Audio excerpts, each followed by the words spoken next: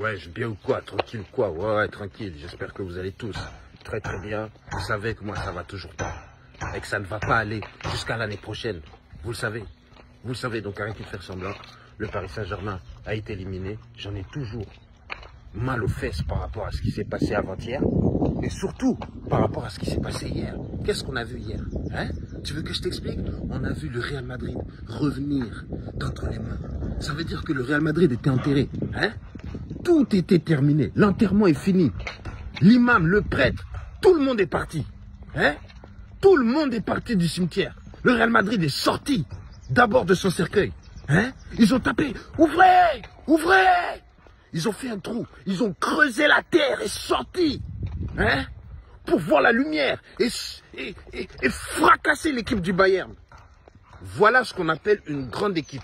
C'est pas une équipe de bambins. Une équipe d'avortons comme le Paris Saint-Germain. Tu crois quoi? Hein? Là, on a vu, et je tiens absolument à présenter toutes mes excuses. Hein. J'ai l'impression de faire ça toutes les années, hein, de m'excuser par rapport au Real Madrid et d'avoir cru que le Paris Saint-Germain aurait pu faire quelque chose ou bien que le Paris Saint-Germain faisait partie des grandes équipes. Non Il y a les grandes équipes comme le Real Madrid, hein, qui est au top du top. Ensuite, juste en dessous, tu as Manchester City. Et après, tu plus rien. Ça sert à rien de faire le malin. Hein?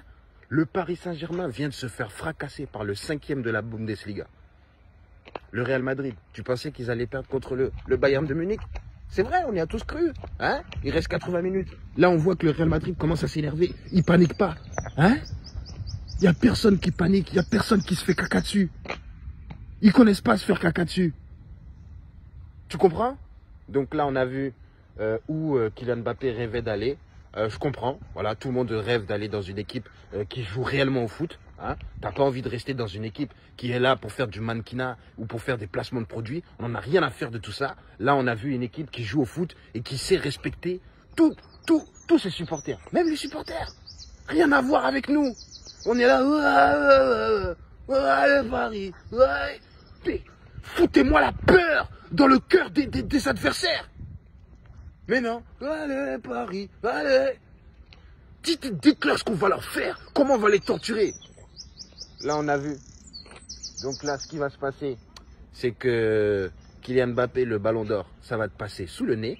Hein Tout le monde t'a coupé l'herbe sous le pied. Là, ça va être soit Bellingham, soit Vinicius. Et tu vas rien pouvoir faire. Même si tu vas signer là-bas, là, hein, le jour où tu vas arriver là-bas, ils vont faire la cérémonie. Tu vas être en train d'applaudir alors que tu seras fâché.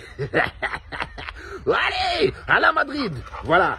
Donc maintenant que tu vas aller pouvoir jouer là-bas, hein, on va voir si réellement tu es fort. Parce que là, Vinicius et toi, il n'y a pas photo. Hein. Ah non, Vinicius, il te regarde même pas. Hein. Ah non, non, non. Il n'a même pas le temps avec toi. T'as pas vu comment il prend ses responsabilités? T'as pas vu comment il est, il est galvanisé? Hein? T'as pas vu comment il, déteste perdre? Toi, tu aimes bien perdre. T'en as rien à faire. Hein? T'en as rien à faire. Hein, hein?